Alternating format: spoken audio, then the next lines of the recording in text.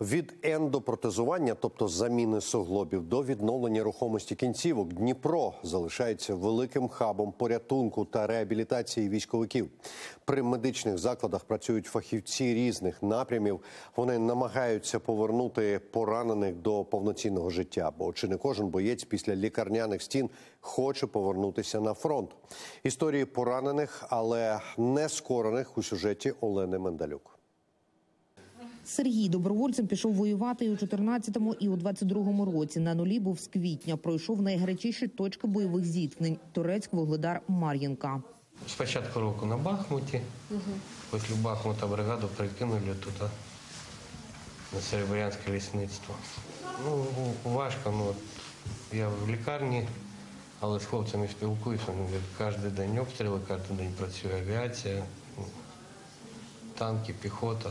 Сергію нещодавно зробили ендопротезування, замінили суглоб чоловікові, діагностували коксартроз, патологію кульшового суглоба. Ми там декілька діб е, на Донбасі переховувалися підрозділом і спали в зерносховищах на вологому зерні. І більш за все, що кажуть, що це оттуда пішло, воно пішло почки, і... а потім все додало, що е, постійне вживання е, обезболюючих, знеболюючих. І е, за- от, зараз от запретили пожиттєво употреблять. Після майже двох років повномасштабної війни з подібними запаленнями суглобів надходить багато військових, кажуть лікарі. Це хронічне захворювання, яке розвивається через порушення кровообігу в області голівки стегнової кістки.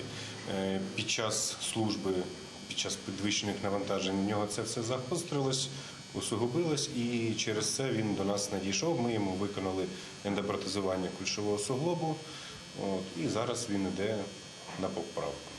Велика роль в одужанні бійців реабілітація, кажуть лікарі. Її військові отримують також у медичних закладах Дніпра. З пацієнтами працюють фахівці фізичної реабілітації, терапевти, ерготерапевти, логопеди та психологи. Денис вже другий місяць проходить курс відновлення. Через поранення хлопцеві довелося провести ампутацію кінцівки.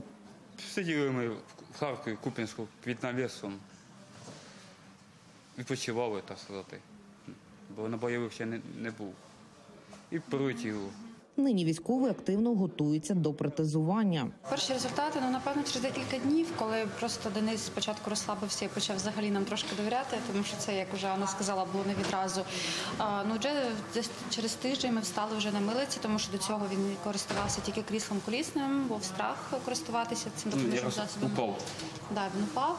А зараз він вже вільно на них ходить.